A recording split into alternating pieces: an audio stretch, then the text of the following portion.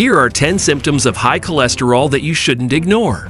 1. Swelling and numbness of limbs. Accumulated lipids hinder circulation, causing numbness and swelling in the limbs. 2. Halitosis. Bad breath. Excess cholesterol affects digestion, leading to dryness and unpleasant mouth odors. 3. Bloating and indigestion. High cholesterol can disrupt digestive processes. 4. Dizziness and headaches. Reduced circulation due to cholesterol buildup may cause these symptoms.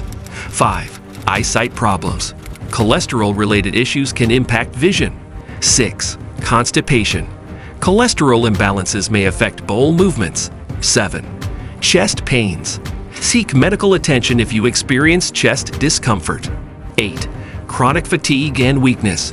High cholesterol can contribute to fatigue. 9. Left-sided chest pain.